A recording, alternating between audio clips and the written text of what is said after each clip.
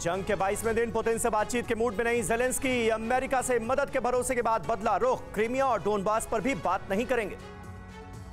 Ukraine का रूस पर काउंटर अटैक तेज। कीव में रूस की कमांड पोस्ट पर यूक्रेन ने की एयर स्ट्राइक। रूसी सेना को भारी नुकसान। रूसी आर्मी पर यूक्रेन के हमले का धमाकेदार वीडियो सामने आया। यूक्रेनी फौज मल्टीपल रॉकेट लॉन्चर सिस्टम से रूसी सेना के ठिकानों पर दाग रही है मिसाइलें। रूस के कब्जे वाले खेरसौन एयरपोर्ट पर यूक्रेनी सेना और रूसी फौज के बीच भीषण जंग। यूक्रेनी सेना के ताबड़तोड़ हमलों में रूस के कई हेलीकॉप्टर्स तबाह। यूक्रेन के सैन्य ठिकानों पर रूस ने बुक मिसाइल सिस्टम से हमला बोला। टारगेट करने का वीडियो सामने आया।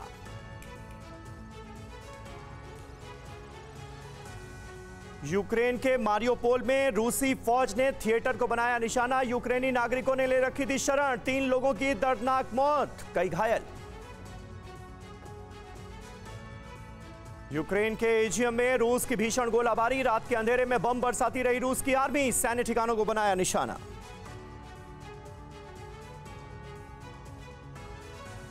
यूक्रेन में रूस का के ए फिफ्टी टू हेलीकॉप्टर का कहर। गोस्टोमेल के जंगलों में यूक्रेन के सैन्य ठिकानों को बना रहा है निशाना। यूक्रेन बॉर्डर पर बेलारूस ने दागी मिसाइलें। बॉर्डर के दो गाँवों में किए हमले। सारनी में सैन्य ठिकाना को निशाना बनाया गया। यूक्रेन के खारकीव में रूस की ज़बरदस्त बमबारी। रूसी हमले में पूरा का पूरा बाज़ार जलकर खाक। खारकीव में तीन लोगों की दर्दनाक मौत, कई घायल। मारियोपोल के रिहायशी इलाकों में रूसी ड्रोन ने कहर बरपाया। मारियोपोल में रूस लगातार कर रहा है शेलिंग। मारियोपोल में चार लाख लोग रूसी हमलों के बाद बेघर। मारियोपोल में यूक्रेन की सेना ने दिया रूस को मुंहतोड़ जवाब। यूक्रेनी सेना ने रूसी टैंक उड़ाया। वीडियो सामने आया। अमेरिकी राष्ट्रपति बाइडेन का पुतिन पर वार, कहा, आम लोगों की हत्या कर रहा है रशिया। पुतिन को बताया, वॉर क्रिमिनल।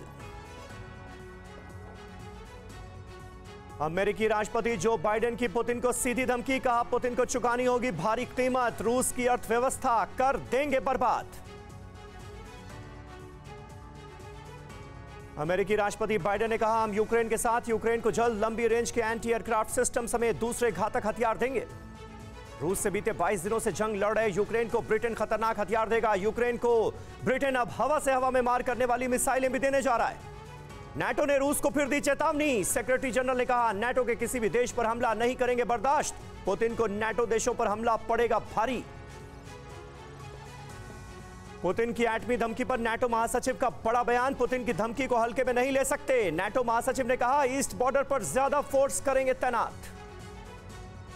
पुतिन की पश्चिमी देशों को बहुत बड़ी धमकी। बोले, पश्चिमी देश जो चाह रहे हैं उसका नतीजा पूरी दुनिया भुगतेगी। यूक्रेन को घातक। कामिकेज ड्रोन दे सकता है अमेरिका। फ़िलहाल तुर्की के बारकटा टीबी टू ड्रोन से रूस के खिलाफ यूक्रेन लड़ रहा है जंग। रूस की सेना ज़मीन और आसमान के साथ अब समंदर से भी कहर बरपाने के मूड में रूसी नेवी का पेट्रोलिंग शिप काला सागर में यूक्रेन की ओर बढ़ता दिखा।